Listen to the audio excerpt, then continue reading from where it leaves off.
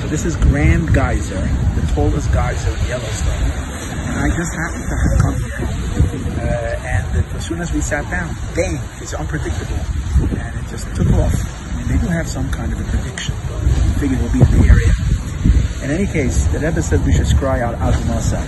Admasa is the ultimate expression, what we call Mayin Nukvin, feminine waters, the, the, the longing for the mashpia.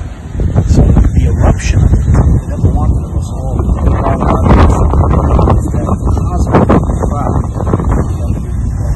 earth, which is uh, made up of Asia, like Asia, H-A, Asia, the hate, the fire of, of the Kaaba, yearning for the mashpia, for the ultimate yield. Think about it, all the benefits to bring about the